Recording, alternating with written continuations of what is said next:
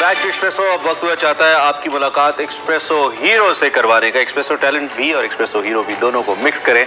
तो आज का आज का जो ब्लेंड बनता है वो एक मेहमान की सूरत में है। पाकिस्तानी लड़कियाँ फीमेल्स जब भी वो खेल खेलती हैं, हमें तो बहुत ही अच्छा लगता है कि वो बाकी फील्ड्स की तरह स्पोर्ट्स के अंदर भी अपना लोहा मनवा रही हैं, सलाहियतें दिखा रही हैं क्रिकेट हो गोल्फ हो हॉकी हो, और हम इस सिलसिले में अपना रोल एक्सप्रेसो प्ले करता रहता है। लोग लेकर आते रहते हैं ऐसे आपके सामने।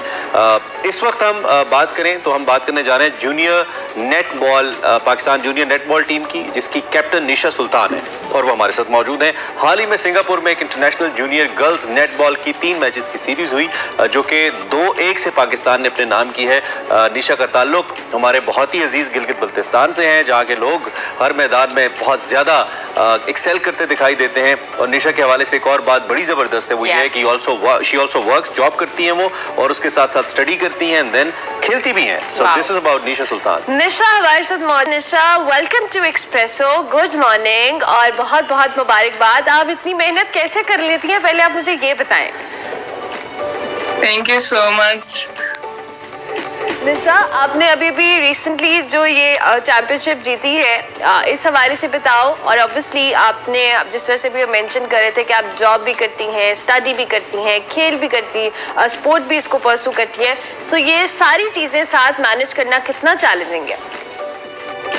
जी बिल्कुल बंदे का अगर किसी चीज़ में इंटरेस्ट हो तो फिर वो कुछ भी कर सकता है। यू you नो know, तो फिर मुझे मुझे था कि मैं पहले इंडिपेंडेंट हो जाऊँ फिर अपने आप को सपोर्ट करूँ अपनी स्टडीज़ खुद करूँ उसके बाद साथ साथ खेलूं भी। तो जब होता है तो फिर कुछ भी कर लेता है। तो आपने नेट बॉल का इंतखाब क्यों किया? वाई दिस मैं क्योंकि बचपन से स्पोर्टी थी मैं बचपन पहले मैं इंटर वगैरह में अपने गाँव से करके आई हूँ गिलगित बल्तिस्तान से क्योंकि गलगिस्तान में कोई ऐसी अपॉर्चुनिटीज़ थी नहीं। तो जब मैं कराची आई तो कराची में मुझे नेटबॉल इंटरेस्टिंग लगा फिर इसीलिए मैंने नेटबॉल ज्वाइन किया। अगर इन स्पेसिफिक इस गेम के बारे में पूछे निशा ये गेम क्या है हाँ। कैसा है इसके लिए क्या फिटनेस क्या स्किल सेट चाहिए इसके लिए तो थोड़ा सा हमें अपनी गेम के बारे में बताएँ। नेटबॉल बास्केटबॉल की तरह है। नेटबॉल में सेवन प्लेयर्स खेलते हैं। दो शूटर्स होते हैं और मेरी पोजीशन शूटर की है। मैं गोल शूटर खेलती हूँ। ठीक है। अच्छा निशा, ये बताएँ, जहाँ पे आप ऑब्वियसली कराची में है प्रैक्टिस के लिए, आपकी ट्रेनिंग के लिए क्या प्रॉपर फैसिलिटीज़ हैं?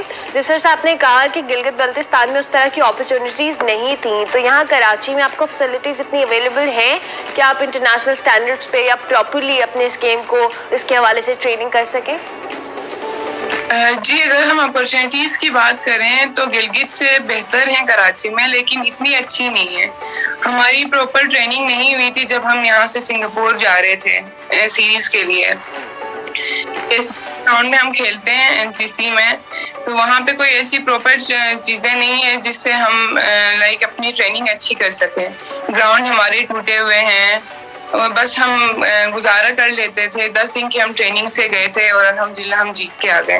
एक तो चले इस टूर्नामेंट की तरफ़ भी या सीरीज़ की तरफ़ भी आते हैं, लेकिन मैं पहले आपकी टीम के बारे में बात करना चाह रहा हूँ। आप तो हमारे साथ बैठे हो, आप तो उनको लीड करते हो, लेकिन बाकी प्लेयर्स के हवाले से हमें बताइए क्या बाकी लड़कियाँ भी उतनी स्किल के साथ खेल रही हैं? आप बींग देयर सीनियर इसको कैसे देख रही हैं और क्या ये जो नेटबॉल का गेम है ये बाकी पूरे पाकिस्तान में भी स्कूल्स कॉलेजेस लेवल पे किया जा सकता है? इसका नेटवर्क बनाया जा सकता है? इसमें पोटेंशियल है? इंटरनेशनली एक्सपोजर मिलता है प्लेयर्स को? जी जी बिल्कुल। पाकिस्तान पूरे पाकिस्तान से लड़कियाँ थी हमारे साथ। कराची की थी पंजाब की थी गिलगित से मैं थी। तो सारी लड़कियाँ बड़े शौक होती इस पे भी टूर्नामेंट्स वगैरह होती हैं। हमारी चैंपियनशिप्स होती तो बहुत सारी लड़कियाँ बड़े शौक से खेलती हैं जो यूनिवर्सिटीज वगैरह पाकिस्तान में होती रहती हैं। Okay. ठीक हो गया ठीक हो गया।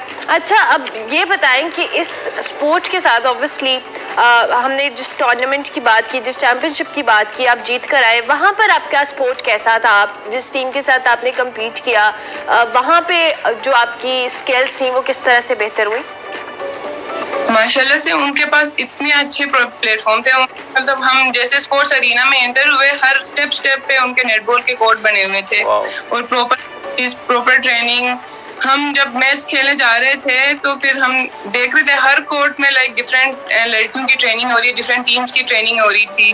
तो हमारे पूरे पाकिस्तान हमारे पूरे कराची में एक कोर्ट है और उनके लाइक एक कोर्ट में कोई पाँच से छः कोर्ट बने हुए थे और वो लोग ट्रेनिंग कर रहे थे। हम्म। और माशाल्लाह से वो लोग बहुत तेज थे उनका फुटवर्क बहुत तेज था उनकी ट्रेनिंग बहुत अच्छी हुई हुई थी। तो निशा आप और- कोई इस तरह की हेल्प नहीं मिल रही है? आप being the captain of junior team आप क्या कहना चाहोगे अगर कोई अथॉरिटी मौजूद है पाकिस्तान में? That I don't see sports के अंदर even prime minister Shahbaz Sharif साहब के होते हुए कुछ नहीं हालाँकि तो बड़ा प्रचार करते हैं नौजवानों का बड़े अशार पढ़ते हैं अलामा इकबाल के। तो प्राइम मिनिस्टर शहबाज शरीफ भी कुछ नहीं कर रहे स्पोर्ट्समैन के लिए स्पोर्ट्स वेमेन के लिए।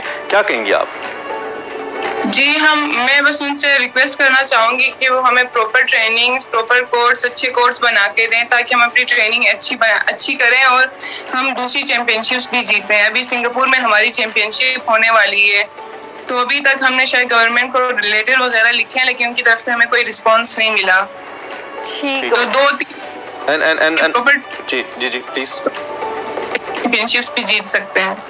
बड़ी चैंपियनशिप्स भी जीत सकते हैं। And in the end Nisha to all the players जो कि प्रोफेशनली नहीं खेल रहे हैं लेकिन नेट बॉल आपको देखकर uh, आ सकते हैं इसमें। आप उनको क्या कहना चाहोगे खासतौर पे द यंगर वंस जो कि आ सकते हैं इस फ़ील्ड के अंदर?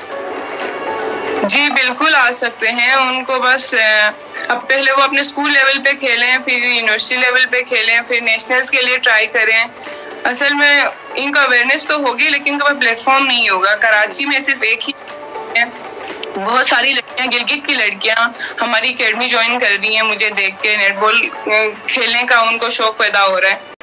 बिल्कुल ठीक है ठीक गया। थैंक यू वेरी मच बहुत शुक्रिया कि आपने हमें एक्सप्रेसो में ज्वाइन किया। Wish you very best of luck for your future